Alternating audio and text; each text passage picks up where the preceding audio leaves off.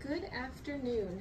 We have a brand new 35,000 gallon gunite pool with a white speckled hydraulic finish. We believe that we have some organic staining, but we're not 100% sure, on the walls and pool floor.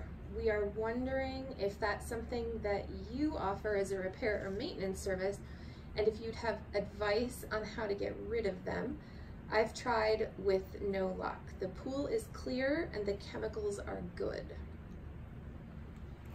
So this is going to take us back to the moment of plaster and adding water.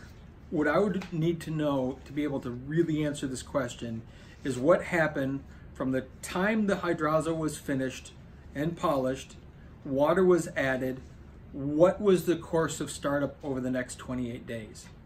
Because an awful lot of issues that show up as staining that might, you might call organic staining, and I'm assuming organic would mean leaves falling in the pool and then decaying and creating organic matter into the plaster itself. But what were the first steps? If I knew that, and if I knew that they had done a proper startup, then we could look at is it metals in the water? Is it organics in the water? What are some of the things? But without knowing that, without knowing what the levels were early on and how they treated it, it's really hard to say. What I would do is certainly take the water in and have it fully analyzed to make sure that there are no trace elements of any kind in the water. Also, is this a salt pool or not a salt pool? That may have something to do with staining on the surface. Uh, is Was all the grounding and the bonding done properly?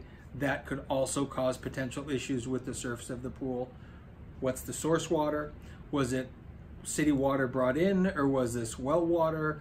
What's the source water hardness, iron content, uh, sulfur content, those types of things. There's a lot more to this than just let's acid wash it and remove the stain. Although that might be the possibility. You might be able to just take your vac pole and hold it down at the, the end of your vac pole, take the end of it off, hold it down at that stain and, stain and dump muriatic acid. Of course, if you do it, make sure you put a mask and gloves on because you're going to get some fumes and you're get, going to get some drips. But you might be able to get acid right down to those stains and they might disappear. If that's the case, it might be a short of doing that method throughout, you might be looking at acid washing the pool. And fortunately for you, the surface that you have on the pool can handle the acid. If it was a marcite finish, a new marcite finish can't handle that acid, that acid wash very well. But a quartz-based finish has a much stronger finish. It is a much stronger finish and would be able to handle an acid wash. But I wouldn't empty the pool or do any of that stuff until I had done all the research in terms of all of its possibilities.